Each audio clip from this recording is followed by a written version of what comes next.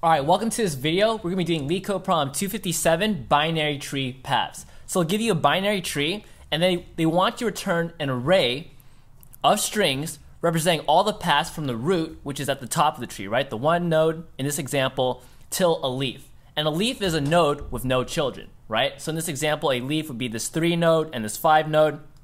They have no left or right children. So we're to solve this with recursion.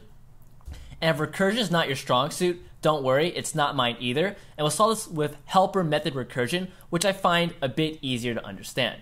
Now, if you like this kind of content, be sure to like, comment, subscribe, and hit that notification bell so you're notified of all of our of our new content. With that being said, let's get started. So what I want to do is first handle an edge case where they pass us a invalid node or they pass us pass us an empty binary tree. So I'll save no root return an empty array, right? There's no paths. Otherwise, I'll say const result is equal to an empty array, and we're to fill this out with strings. So I'll create my helper method recursion function. I'll call it, let's say, find path. It takes in a node and a current path, and current path, this will always be of type string, all right? And node, well, will always be a given node in the input binary tree. All right, so I'll say current path plus equals node dot val, right? Because we want to append our current node onto our path. Then I'll say if our node does not have a left child and a right child, so if no node dot left and no node dot right,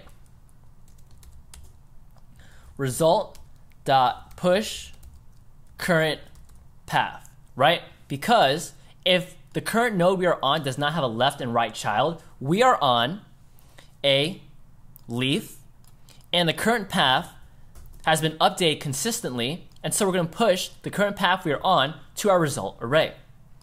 Otherwise, that means there's either there's either a left child or a right child or both. So let's keep traversing. So I'll say if node dot left, then I'll say find path and takes in two arguments, right? Node current path.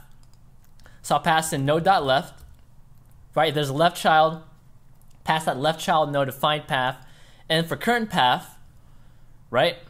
I'll pass in the current path plus this uh, right directional arrow because LeetCode wants each of these strings, right, in between the node values, we have this directional arrow right here. So then I can just copy this actually, just change a couple things. So let's say if node.right, right, if node.right, traverse again, passing in the node's right child, and you still pass in the current path plus this directional arrow.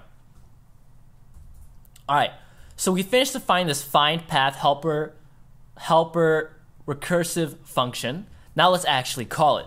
So I'll call it on, so I'll do find path and call it on the input node they give us, which is the root of the binary tree. So I'll say root, and then our current path is, well, an empty string on the first call of it, right? Once find path is called, it's going to update our result array accordingly, and I can say return result. So I'll save I'll bring this over to LeetCode and make sure it passes their tests.